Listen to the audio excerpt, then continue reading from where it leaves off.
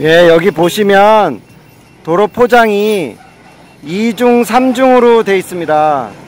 예, 제가 사고가 난 이후로 다시 포장을 한 것 같은데, 예, 지금에 와서 안 된다고 하는 식으로 얘기하는 거 보니까 문제가 있었던 장소 같습니다.